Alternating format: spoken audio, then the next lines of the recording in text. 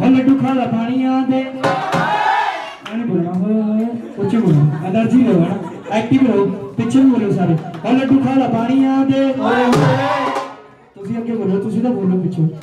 Please ਸਾਰੇ ਦੀ video ਬਣ ਰਹੀ ਹੈ। ਸੋਹਣੀ ਬਣੂਗੀ ਨਾਲੇ। ਹਲ ਦੁਖਾਂ ਦਾ ਪਾਣੀ ਆਂਦੇ ਹਲ ਦੁਖਾਂ ਦਾ